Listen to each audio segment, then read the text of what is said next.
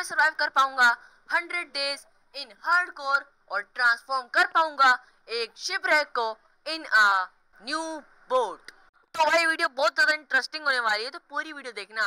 और भाई, इस वीडियो में आपको बहुत मज़ा आने वाला है, पहले बता रहा हूँ। और भाई, चलते हैं वीडियो की तरफ़ क्यों भाई, बहुत ज़्यादा अभी काम कर रहे हैं मैं वीडियो के अंदर। बहुत ज़्यादा लंबी हो गई तो पता है यार, फिर लोग देखते नहीं है। समझ रहे हो ना यार? टाइम नहीं है तो यार टाइम नहीं है तो जल्दी जल्दी मैं अपना इंट्रो झाड़ लेता हूँ। हेलो गाइस, वेलकम हमारे एक और वीडियो में। आज की वीडियो में हम लोग खेलने वाले हैं माइनक्राफ्ट और माइनक्राफ्ट के अंदर हम 50 डेज़ सर्वाइव करेंगे हार्ड कोर के। और भाई, अभी मैं कंप्यूटर की पहली वीडियो बना रहा हूँ तो लाइक एंड सब्सक्राइब कर देना। तो चलते हैं वीडियो की तरफ़। शुरुआत में हमारे को मिला है एक डर्ट और मेरी इन्वेंट्री के अंदर अभी एक दो बेम्बो पड़े हैं। तो उनसे हमारे को बहुत ज़्यादा आगे जाना है, और यहाँ पर जो हमारा गोल है ना, वो है बस शिपरेक बनाना। एक पूरा शिप बनाना हमारे को यहाँ पर शिपरेक से। और वो शिप बेम्बू का भी बन सकता है, किसी भी चीज़ का मैं मिक्स भी बना सकता हूँ, क्योंकि मटेरियल की बहुत ज़्यादा कमी पड़ने वाली है यार।